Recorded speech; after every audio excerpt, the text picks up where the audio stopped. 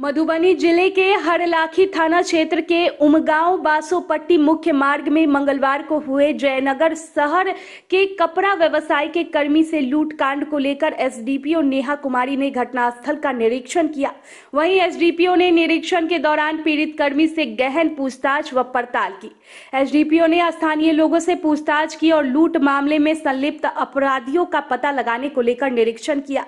विदित हो कि इस दौरान एसडीपीओ ने सीसीटीवी कैम कैमरा भी खंगाला। मंगलवार की शाम कपड़ा व्यवसायी धनिक लाल महतो उमगांव से खुदरा कपड़ा दुकानदार से बकाया पैसा लेकर वापस लौट रहा था।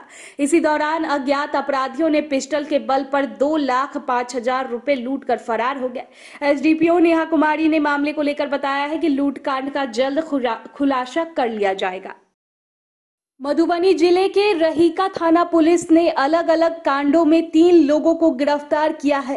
अपहरण व शराब कारोबार मामले को लेकर पुराने मामले में तीन अभियुक्तों को गिरफ़्तार किया गया है।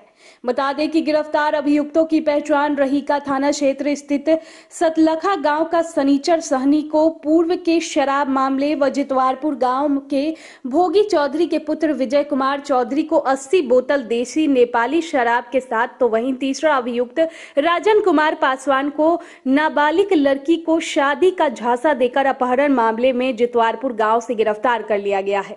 बताते चले की एक माह पूर्व जितवारपुर गाँव का पप्पू भंडारी ने अपनी नाबालिग पुत्री को बहला फुसला कर शादी करने की नियत से अपहरण कर लेने के मामले गाँव के ही राजन पासवान एवं अन्य चार के खिलाफ रहीका थाने में प्राथमिकी दर्ज कराया था, जिस मामले में अभियुक्त लगातार फरार चल रहा था। इस बाबत थाना अध्यक्ष राजकिशोर कुमार ने बताया कि गिरफ़्तार तीनों अभियुक्तों को न्यायिक हिरासत में लेते हुए व्यवहार न्यायालय मधुबनी भेज दिया गया है।